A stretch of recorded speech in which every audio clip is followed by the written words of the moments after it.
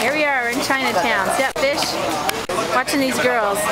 That's our tour guide, Fabrice. He's taking us through Chinatown. We're looking at stuff. Look at the frogs. Is that crazy? Okay. Walking through Chinatown here.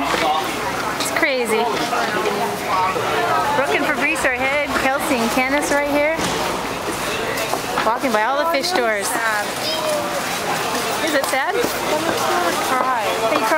Are you crying, Kelsey? Kelsey's crying. Candace? Candace? What do you think? Okay. Walking in Chinatown. Oh, swag face. Keep up. Okay, catch up to Fabrice Brooke. Look at all the veggies, fruits, more things. Catching up here to Fabrice.